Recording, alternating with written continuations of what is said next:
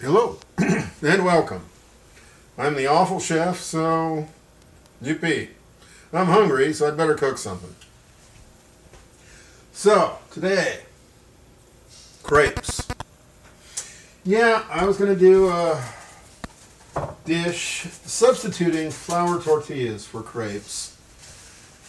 But then when I talked it over with my primary audience, the woman I cook for, she said, oh, but crepes are so nice. Many years ago, I worked for a company called Louis Vuitton. And, oh, that's getting very nice and hot. And I was exceptionally impressed with the pragmatism and practicality of my coworkers from across the water. So, um, yeah. To them, this is nothing. To us, it's all sorts of fancy. But trust me, it's really basic stuff. Crepe batter, you can find the recipe online. The important thing is to let it rest. Air bubbles are death to crepes. And here we have a crepe batter made more than an hour and a half ago and allowed to rest. It is basically nothing more than a thin pancake batter. So, as with pancakes, the first one, of course, will be a waste.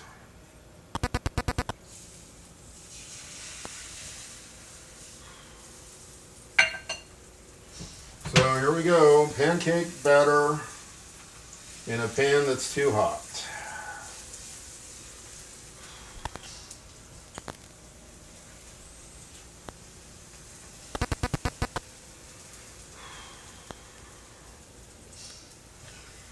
Yippee. Oh look, it's the state of Mississippi.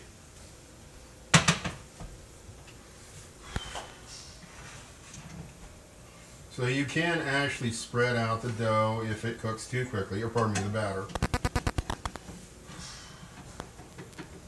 But the first one's always going to be a gimme. And today is no exception to that. There's my delightfully misshapen crepe.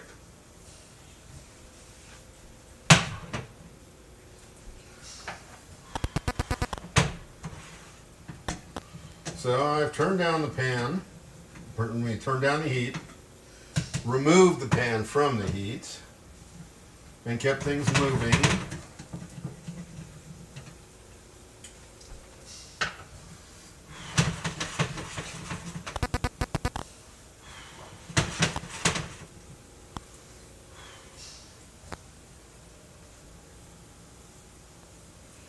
And as stated, the first one is a waste.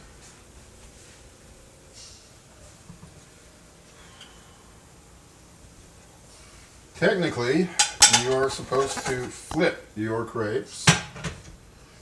But given the um, sorry state of the first one, there's no point in bothering with it. So the pan is cooler and now properly greased since all the excess grease went into the first one.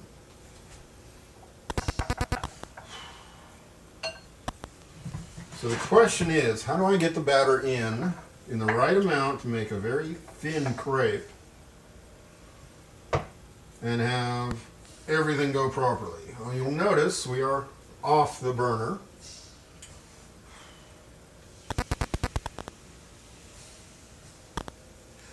The batter has been applied in a circular pattern this time.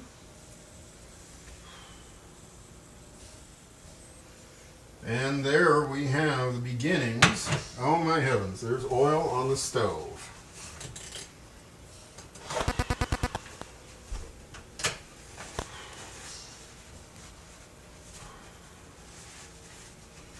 Yes, you have to get the oil off your electric stove before it catches fire. So, pan. Oil underneath the pan. That's where it came from. Ah, that wasn't nerve-wracking for a moment. Yes, things do go wrong in every kitchen. Okay, we have a much more crepe-shaped crepe. Returning the heat. So, while that cooks, let's take a look. You can see the texture of the batter itself. Ooh, it's Star Trek. It's going to suck my spine or whatever. Produces a very flexible, yes, pancake. That's from the eggs inside. Mm. Yep, that's a crepe.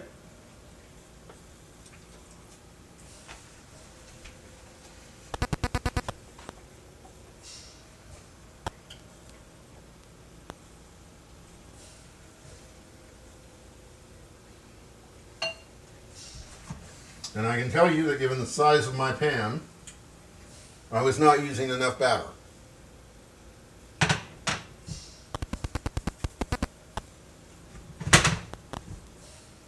Mm. Yes, our local store sells crepes, but they're much too sweet.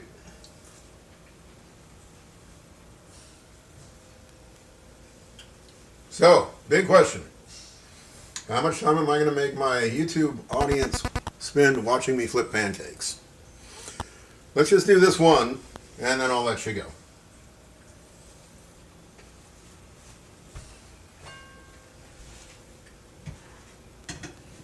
Okay.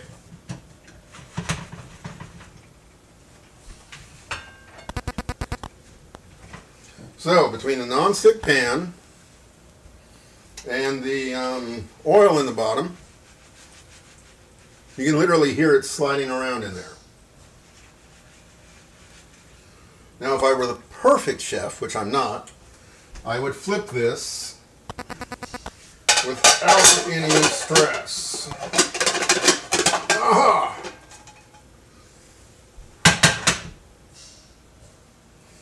So there we have the slightly off kilter crepe.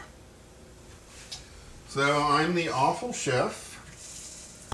Please remember to subscribe. And I will do a better job of showing you how not to make crepes next time. Thank you. Goodbye.